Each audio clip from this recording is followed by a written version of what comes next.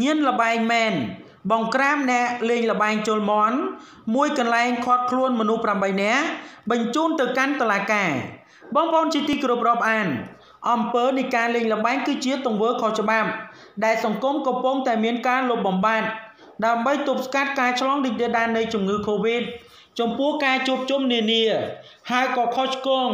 ទៅនឹងបំរាមរបស់រដ្ឋាភិបាលបីកុំបីការពារផងដែរ ប៉ុន្តែពលរដ្ឋមួយចំនួនដែលគាត់ញៀនញ៉ាំនឹងលបែងគាត់មិនដែលបញ្ឈប់និងមិនដែលអខាននោះទេមួយថ្ងៃមួយថ្ងៃគាត់ដឹងតែពីចង់តែលេងតែម្ដង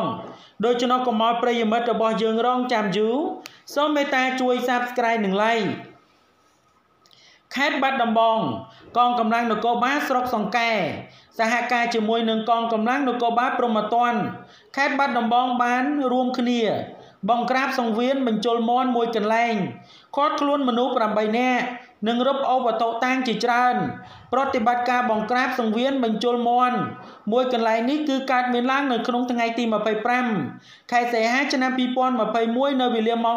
11និង30នាទីត្រង់ចំណុចភូមិអូបេងឃុំអន្លង់វិលស្រុកសង្កែនៃខេត្តបាត់ដំបង មន្ត្រីនគរបាលស្រុកសង្កែបានឲ្យដឹងថា ដោយការអនុវត្ត តាមបទបញ្ជារបស់លោកឧត្តមសេនីយ៍តូសាទកំសាន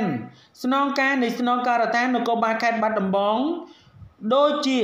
យោបល់របស់លោកវរៈសេនីយ៍ឯកលឹមពុទ្ធីឡា ស្នងការនគរបាលផែនការនគរបាលព្រហ្មទណ្ឌដោយបានសហការនឹងសម្របសម្រួលនីតិវិធី ពីលោកកែសុជាតិព្រះរាជអាជ្ញានៃអាយកាអមសាលាដំបងខេត្តបាត់ដំបង លោកវរៈសេនីយ៍ឯកជឿនកំសុង នាយការិយាល័យនគរបាលព្រហ្មទណ្ឌកម្រិតស្រាលបានដឹកនាំកម្លាំងក្រុមអន្តរាគមបង្ក្រាបនិងបង្ការចុះប្រតិបត្តិការបង្ក្រាបលបែងស៊ីសងភ្នាល់មន់មន់ជុល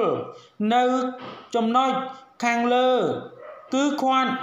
ខ្លួនអ្នកប្រព្រឹត្តចំនួន8នាក់មកកាន់ស្នងការ ដើម្បីធ្វើការសាកសួរផងដែរវត្ថុតាងដែលសមត្ថកិច្ចបានដកហូត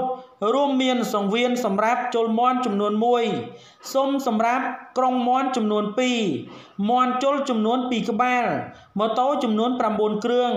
បច្ចុប្បន្នក្រោយពីការសាកសួរនៅការិយាល័យជំនាញកំពុងតែរៀបចំកសាងសំណុំរឿងដើម្បីបញ្ជូនទៅកាន់សាលាដំបងខេត្តបាត់ដំបងដើម្បីចាត់ការទៅតាមនីតិវិធីនៃច្បាប់នៃក្រមញៀនលបែងទាំងនេះដែលសុទ្ធតែជាពលរដ្ឋដែលគាត់ញៀនលបែង និងកំពុងតែវក់លេងលបែងដោយមិនខ្លាចរអានៃជំងឺ Covid នោះដោយចំណព័ត៌មាននេះមានប៉ុណ្ណឹងដើម្បីទទួលបាននូវព័ត៌មានថ្មីៗបន្ថែមទៀតសូម Subscribe និង Like